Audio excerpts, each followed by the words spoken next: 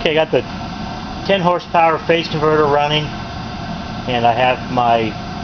3 quarter horsepower 3 phase Baldor grinder hooked up to it also.